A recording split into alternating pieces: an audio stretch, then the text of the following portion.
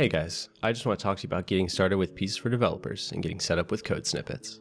Starting out, you just want to make sure that Pieces OS is running in the background. Once it's running, you can close that window.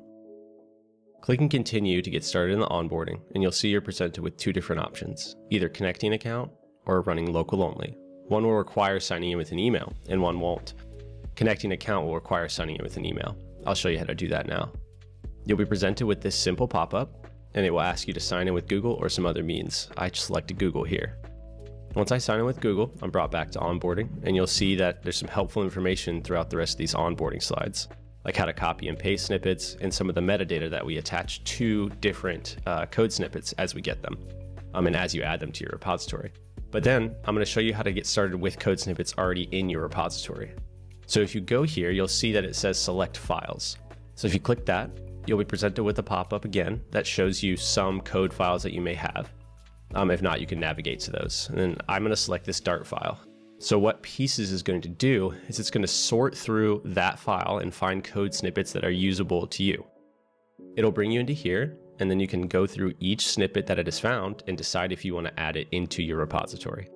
Each one can be selected individually, or you can select uh, add all of the snippets, but here you can see that I've selected five I believe six. And then once I get to six, I'm gonna add all of these snippets into my repository.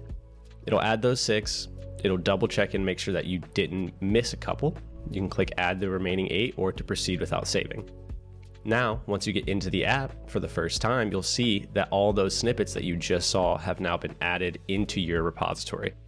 It's super easy to do and they'll all be sorted individually so that you can copy and paste and reuse them in different locations throughout different projects you're working on.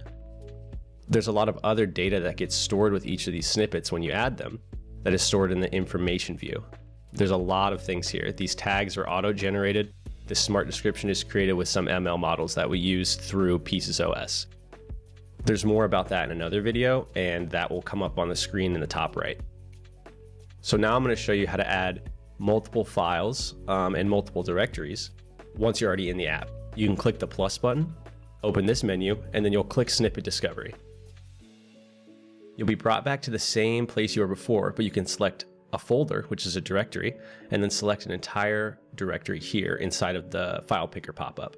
Once you do that, the process is basically the same. You'll have a number of snippets that we have found inside of your directory that you just selected, and you can go through and select individual ones. But here I'm just gonna bulk add all 12.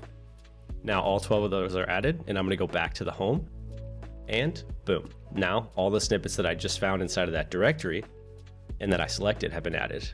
You can find out more about all these features at code.pieces.app.